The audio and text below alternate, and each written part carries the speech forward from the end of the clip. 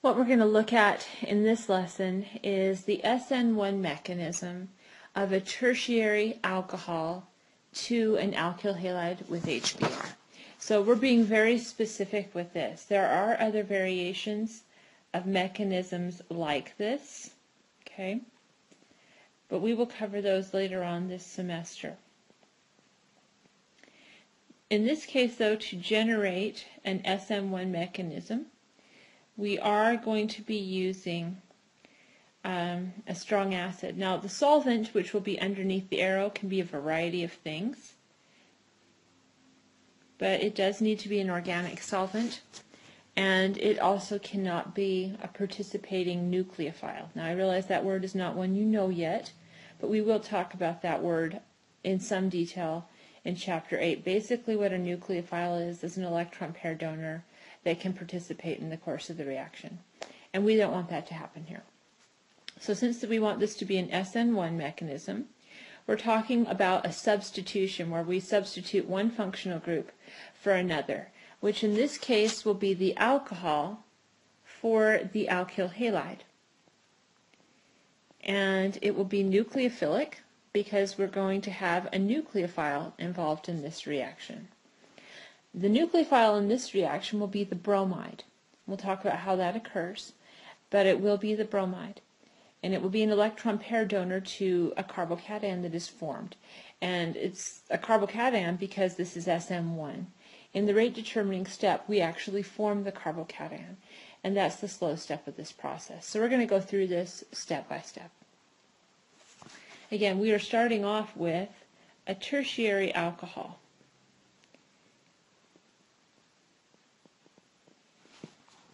And we're going to use HBr on it. Now, if you need to go back and look, get out your pKa table. And if you look at that pKa table, you will find that HBr is a very strong acid. It's one of the best. And so this is a great source of protons. What it does is this HBr bond will break, and bromine is more electronegative, so it will take both of the electrons, producing a proton in solution. So we need a base to pick up the proton. And if you remember the definitions of bases from general chemistry, bases have two different definitions. One is a proton acceptor or an electron pair donor. The first is a Bronsted-Lowry definition, the second is the Lewis definition. But both of these apply in this case. Oxygen here is going to be the proton acceptor, and it's also the electron pair donor. And I want to make sure you are noticing in this reaction that it is the electrons that are moving, not the atoms. Whoops.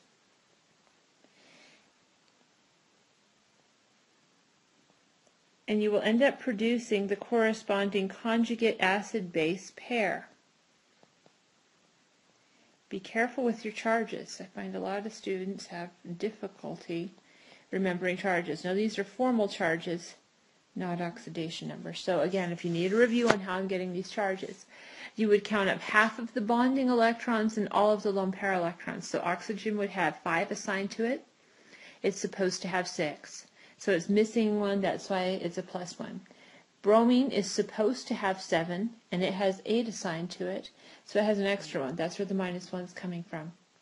And as you can see here, the charge is still on the product side overall neutral, as it was on the reactant side. So charges have been balanced. All the atoms are accounted for. This is a balanced chemical equation.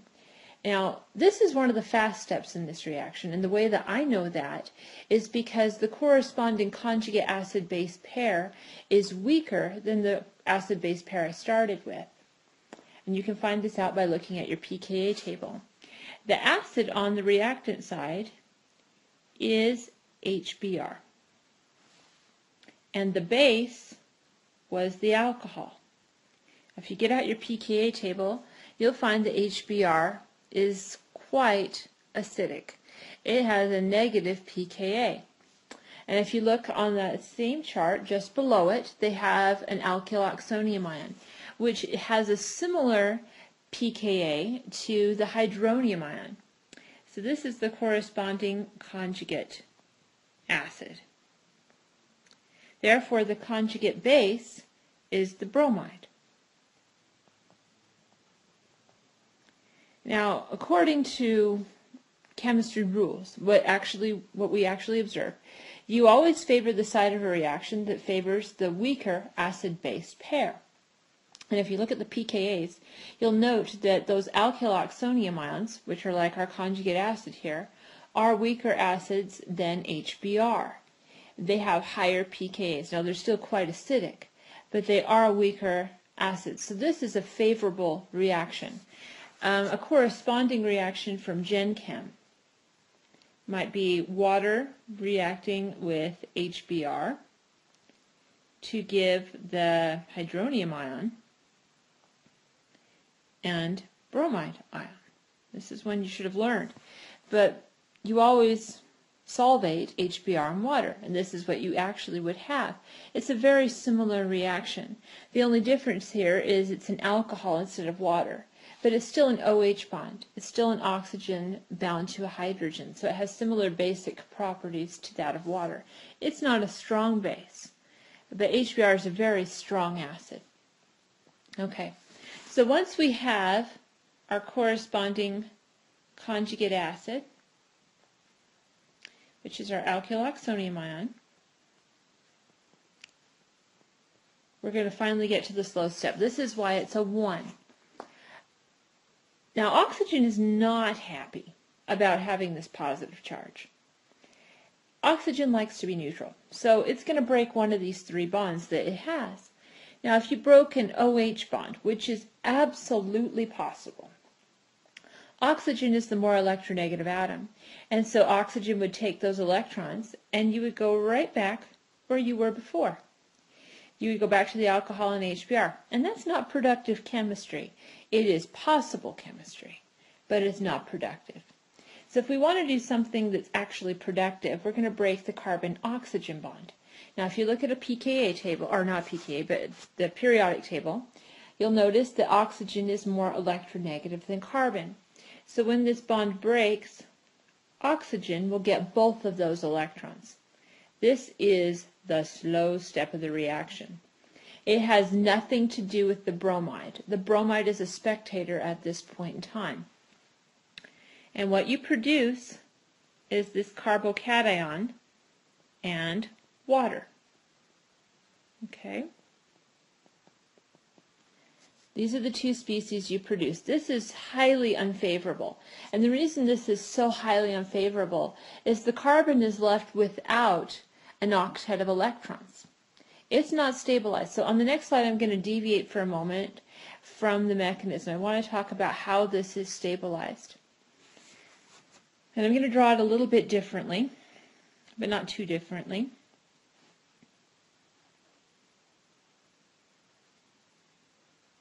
I'm going to show the sp2 hybridization of this group for a minute. It has an empty p orbital. That's where the positive charge is. Now, these groups here, we had two methyl groups.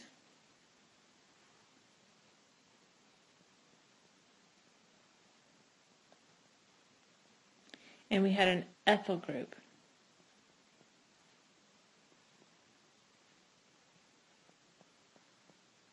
Okay. This carbocation that you see here is stabilized by two different factors. One of them is called induction.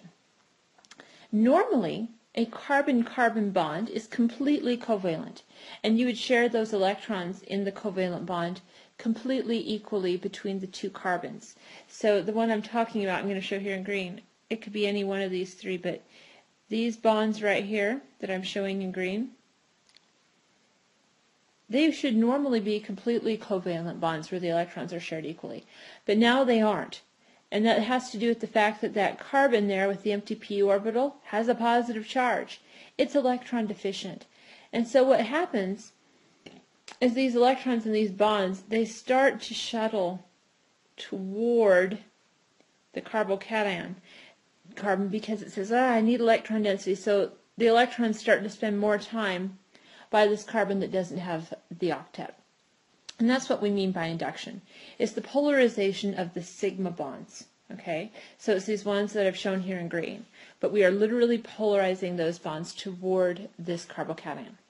The other factor is called hyperconjugation, and it has to do with orbital overlap of the adjacent groups. So the adjacent groups I've shown here in red, and what happens is that this bond right here, or this bond right here, or this one here, any one of these that I'm showing you by highlighting them even harder, they can overlap with this p orbital and kind of dump some of their electron density into this p orbital is kind of what happens. Um, but they try to cover up the fact that there's this positive charge, but they bend toward this empty p orbital, trying to cover it up and protect it. So it's going to be covered by hyperconjugation and induction. Now at this point in time, I'm going to redraw our carbocation the way I'd drawn it previously. It really wants a pair of electrons. It needs a nucleophile because it's highly unstabilized. One of the things that can happen is that water could act as the nucleophile and add to this carbocation. It is a potential nucleophile because it is an electron pair donor. Bromide is also a potential nucleophile because it also has lone pair electrons. Either one of these two chemical species could add to this carbocation. Now, if water adds, you go back here.